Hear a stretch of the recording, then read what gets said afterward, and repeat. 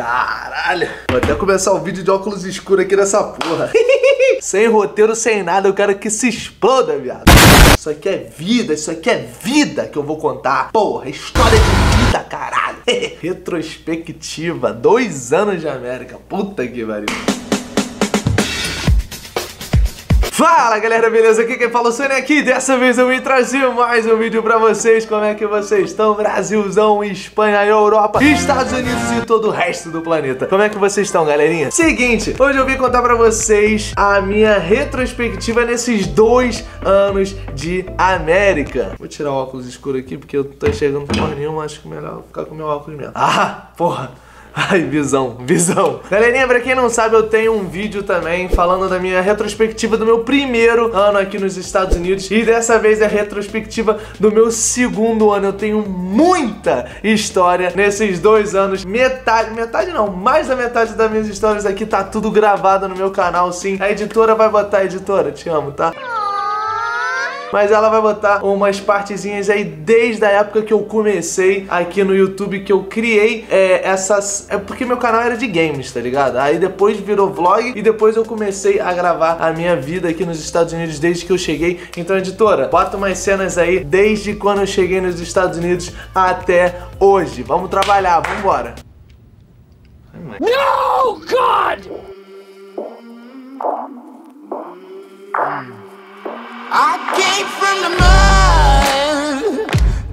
No primeiro dia aqui em Vegas, eu vou morar aqui em Las Vegas junto com o Tiaguinho, lindo e maravilhoso.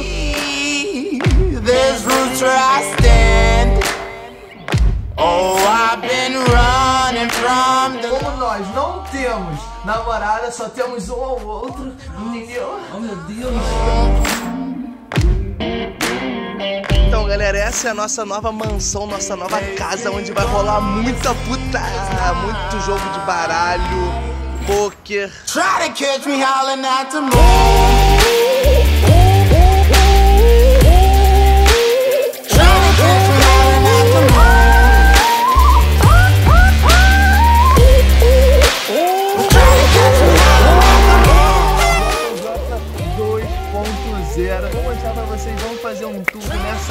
Sem mais delongas.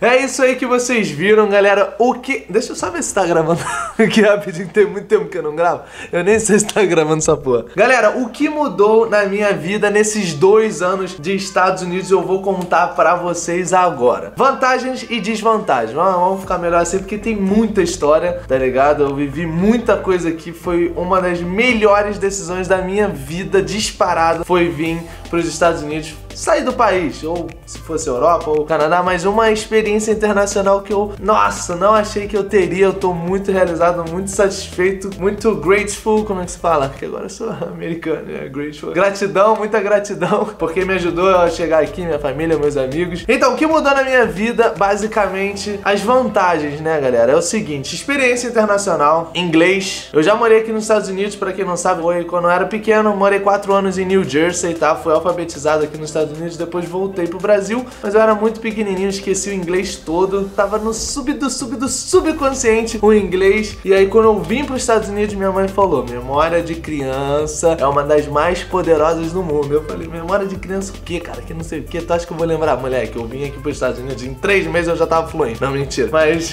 eu tava falando bem, entendendo muito, e você tem que ter ação, mano. Você não pode só ficar escutando e entendendo, você tem que falar, você tem que treinar a sua conversação Então eu ia, praticava, falava, falava errado, as pessoas me corrigiam, eu ia absorvendo e pá, pá, pá, pá, pá. E hoje eu tô muito, muito, muito, muito melhor, consigo entender basicamente tudo. Não consigo falar muita coisa, mas eu falo razoavelmente bem pra mim, eu, eu me viro aí se for pra se virar no resto do planeta, eu acho que eu dou trabalho aí. então, em inglês, experiência internacional com diversas coisas, cultura, forma de, de, de falar com as pessoas, dar bom dia para todo mundo. Eles, eles são muito carinhosos. Tipo assim, Claro que tem os americanos chatos e tudo mais, mas a maioria atencioso e vê que você não fala muito bem inglês e eles tentam, não, não, não, uh, keep going, não sei o que, tipo, vai falando, eu tô entendendo. Então eles querem ajudar você quando você, tipo, vou dar um exemplo, outro exemplo aqui, quando você bota a seta no Rio de Janeiro, mano, no Rio de Janeiro era um inferno. Tu bota a seta pra direita, a galera acelera pra tu não passar. Eu não sei que mentalidade é essa do brasileiro de fuder os outros, viado. eu não entendo. Você bota a seta aqui, mano, no início eu já percebi, mano. Quando eu peguei o carro aqui, eu botava seta, nego reduzia. Eu, o que, que é isso? Não vai acelerar não, meu filho? Ou seja, tu botava a seta lá na frente, o carro lá de trás já tá reduzindo, não sei como também, velho. Então eles, eles são muito, sei lá, mano, respeitosos. Não sei explicar, mas uma acho que vocês conseguiram entender. Beleza, então eu mudei isso em mim também, então eu trato muito melhor as pessoas é, hoje em dia, por conta disso, do hábito americano. Uma das coisas muito fortes aqui nos Estados Unidos é que os americanos têm, eles fazem muita coisa, eles não têm tipo assim só um trabalho, eles têm dois, três, quatro, eles fazem uma porrada de faculdade, faz aquilo e vende coisa na Amazon e faz não sei o que. Então, mano, por isso que os caras são ricos, né? E eu peguei esse hábito desde o início. Então, eu já trabalhei em muita coisa aqui, mano, muita coisa. Peguei experiência de várias coisas, delivery, Uber, fiz figuração aqui também já em programa de TV. Já trabalhei no outlet, pizzaria também. Fui delivery dishwasher na pizzaria. É porque metade do tempo pra cá eu estou só fazendo, tipo, investimento, cuidando da minha marca, fazendo outras coisas. Mas enfim, vai dois anos, cinco coisas já tá muito bom. Aqui você pega experiência em vários lugares. Eu conheço o pessoal que chegou aqui de, de Boston também, aqui na JJ tra trabalhou em landscape, em pintura, não sei o que, sei o que lá. Então, muita coisa que você nunca pensou em trabalhar no Brasil, você já trabalhou aqui, então você tem um conhecimento avançado de várias coisas. Então, você tem plano A, B, C, D, E, F, G, então isso é muito bom, é uma vantagem. Vamos falar um pouquinho das desvantagens, tá? Senão o nego vai achar que aqui é só coisa boa e não sei o que. Desvantagens, galera. Deixa eu só pausar aqui, só pra ver se tá gravando mesmo. Falar alguma das desvantagens. A maior das desvantagens que vocês devem estar pensando, é claro, é a saudade da família. Sim, galera. É, já tô dois anos sem ver minha família. É,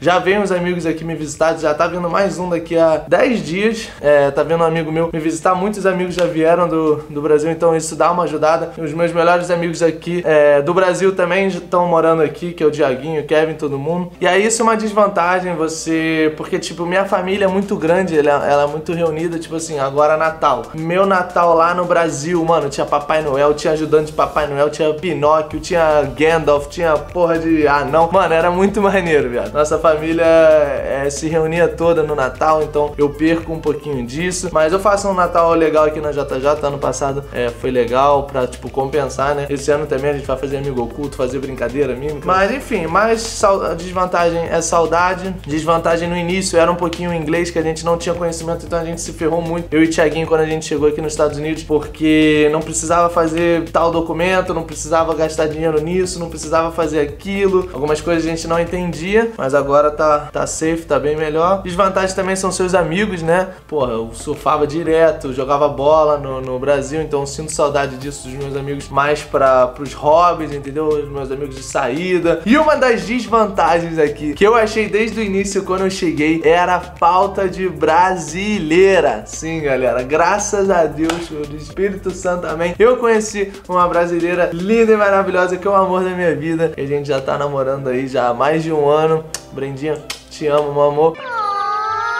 E ela é brasileira, sim. Mas o que eu sentia muita falta era das brasileiras, mano. As gringas, tipo assim, é legal aí, pegou gringa, pegou mulher de Londres, o caralho é quatro, ele é caralho é quatro, mas muito sem sal. Então eu tava sentindo falta de mulher brasileira. Tem aquele calor, te entende, não sei o que, não sei. É diferente o gingado. Graças a Deus eu conheci uma. Então essa era uma desvantagem, mas deu tudo certo. E Deus quiser, a gente vai estar tá aí casado, dois filhos, um cachorro e tudo mais. Essas coisas aí da vida e como você evoluiu. Ritmo agressivo 150 fluido. Desde lá até aqui, se sim ou não, galera, eu evolui muito, tanto financeiramente quanto conhecimentamente, moleque. Mas minha mentalidade cresceu muito. Hoje eu tenho uma porrada de forma de renda, eu tô muito tranquilo. É que eu falo para as pessoas, para a galera aqui da JJ que você vai assistir esse vídeo, galera da JJ aqui de casa. Se o Uber acabar, se o Postmate, o delivery acabar, se alguma coisa acontecer, você tem que diversificar a sua renda, meu filho. Porra, já tô te avisando, meu filho. Vamos querer. Hoje aqui a JJ como é que tá? Casa casarão, mansão zona, 6 quartos, bagulho é louco. E a próxima vai ter 25 quartos, viado. Bagulho é louco, sempre evoluindo. Evoluiu! Mas então é isso, eu cresci muito. Eu. Eu obtive conhecimento avançado. Porque na vida você tem que saber, meus caros amigos, diversificar as suas ideias no seu bolso. Sabe por quê?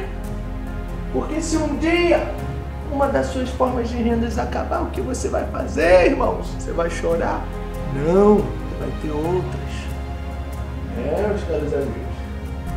Essa foi a lição de hoje.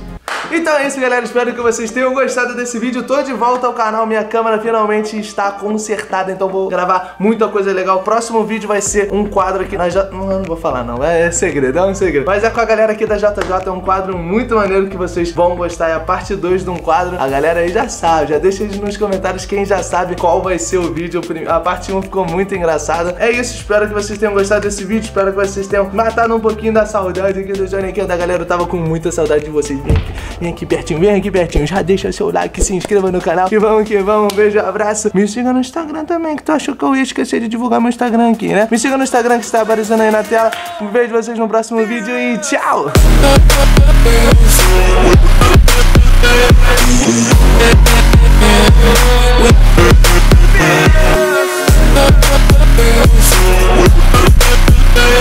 Yeah.